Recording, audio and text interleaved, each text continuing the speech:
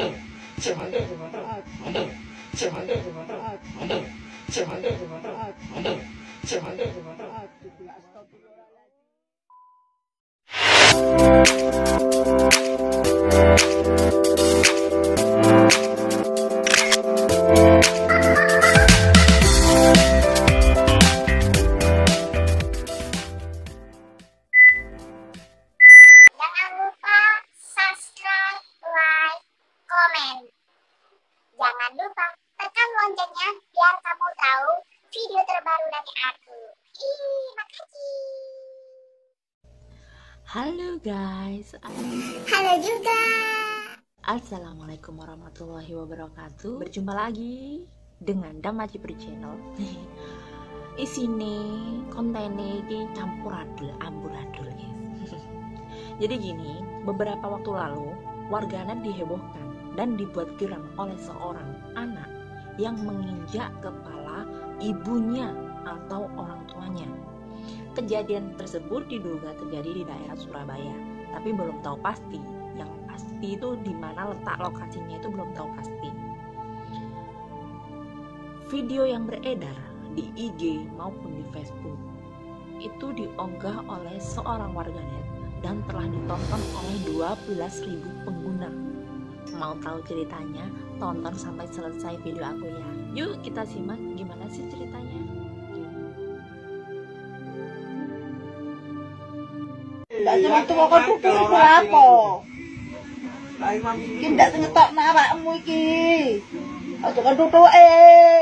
ngomong ae meneng ngomong kan raimu iku cok Kon dadi wong tuwa kok ditutuke. Kualat kon dadi wong tuwa kon tutuke.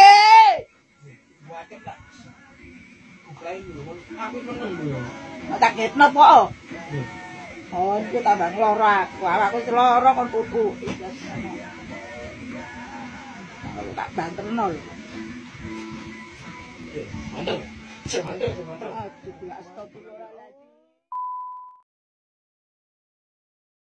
Ini nih guys, salah satu postingan netizen ya yang nge-share video anak tersebut. Gini guys, anak durhaka biar 10 kali kau menunaikan haji, 10 kali kau bersedekah, 1000 tahun kau sholat, 100 kali kau kasih makan anak yatim, tidak akan bisa kau hapus dosamu terhadap ibumu yang kau zolimi. Kepalanya kau injak, Ingat, ibumu itu bertaruh nyawa meregang nyawa untuk mengeluarkan kepalamu dari rahimnya. Lalu kau perlakukan ibumu seperti binatang. Kau tendang, kau injak kepalanya.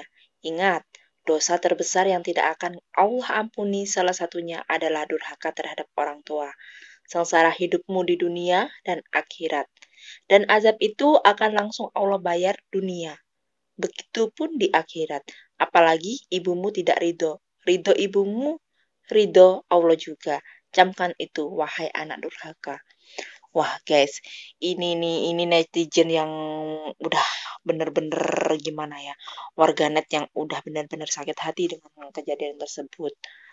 Oh, terus ada juga ya ini yang komen-komen, yang komen-komen dari status yang dibuat oleh warganet, salah satu warganet.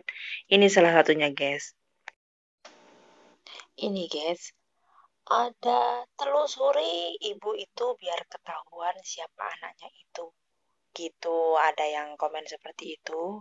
Jadi semoga cepat ketemu ya anaknya itu ya.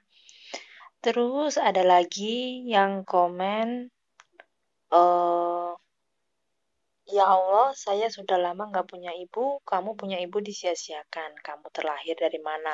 Kalau nggak ibumu yang mempertaruhkan nyawanya. Semoga cepat bertobat anak ini. Amin. Mudah-mudahan ya cepat bertobat itu anaknya kepada ibunya juga minta maaf ya. Terus ada lagi komen dari status tersebut dari sebuah dari seorang netizen ya. Anjing itu anak bukan keluar dari seorang ibu, tapi keluar dari batu. Sumpah netes air mata lihat video ini. Ya, siapa juga orang yang gak netes lihat video ini. Terus ada lagi komen, anak anjing emosinya aku lihat anak bangkai itu. Ya ampun ini. game dalik ya. Nah guys, itu tadi ceritanya ya. Anak yang menginjak kepala orang tuanya. Mudah-mudahan anak itu cepat sadar dan segera minta maaf kepada orang tuanya. Dan mudah-mudahan kita semua dijauhkan dari sifat-sifat seperti itu ya. Amin. Oke sampai di sini video aku kali ini. Jangan lupa like subscribe komen.